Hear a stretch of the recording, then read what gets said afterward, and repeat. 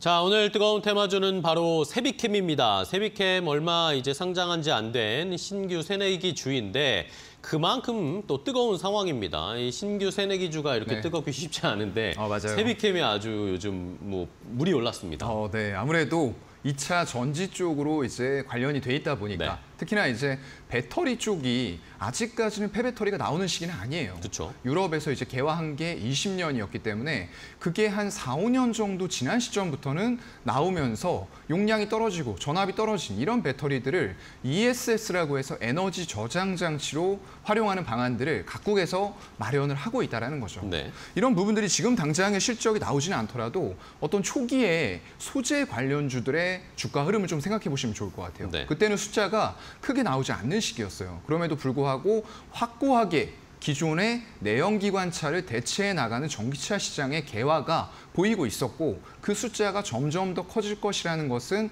각국의 친환경 정책들로 인해서 예측을 할 수가 있었던 부분들이에요. 그런데 지금까지 아직은 글로벌 전기차 보급률이 10%가 채 안 되는 수준입니다. 아직까지도요.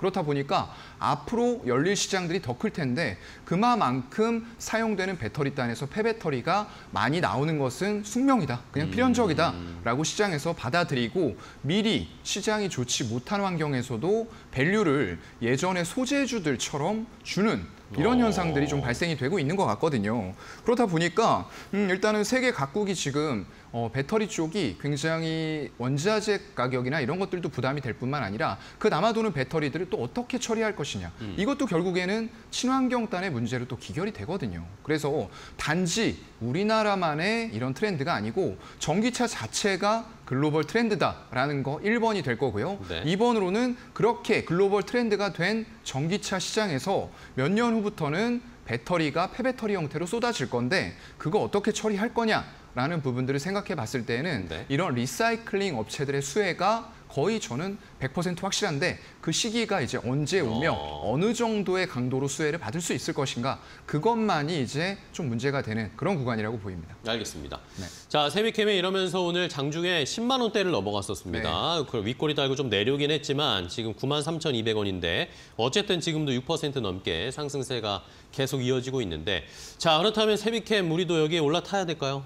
어, 이거 지금 당장 사기는 조금 무섭기는 해요. 그러니까요. 근데 최근 들어와서도 일단은 그 옆으로 횡보 정도 하면서 이제 생기기 시작한 5일선 네. 정도는 또 지지를 받는 모습들이 확인이 되고 있거든요. 네. 그렇다고 해도 너무 급하게 왜냐하면 아직까지 Value가 비싼 것도 맞습니다. 그쵸. 말씀드렸던 대로 어, 폐배터리가 아직 나오는 시기가 아니기 때문에 미래의 value를 당겨서 적용을 받고 있는 네. 거기다가 이제 초창기 지금 바로 이제 상장한 신규 상장주의 효과도 같이 조금은 누리고 있다라고 보여지거든요. 음. 네네. 그래서 이런 부분들은 여러분들이 좀 감안을 하셔야 될 것 같고요. 아까 말씀드린 대로 미래 실적이 자명하다라는 부분은 뭐 거의 확고합니다.